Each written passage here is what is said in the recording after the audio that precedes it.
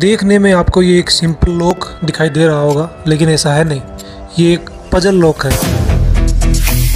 और इस puzzle lock में हमें इस लॉक को खोलना है। ये इस लॉक की चाबी है। इस चाबी से इस लॉक को खोलने की कोशिश करते हैं। ऐसे ही और मज़ेदार वीडियोस के लिए चैनल को सब्सक्राइब कर दें। तो चलिए शुरू करते हैं। ये चाबी इस लॉक के अंदर डल तो गई है, लेकिन चाबी घूम नहीं रही है।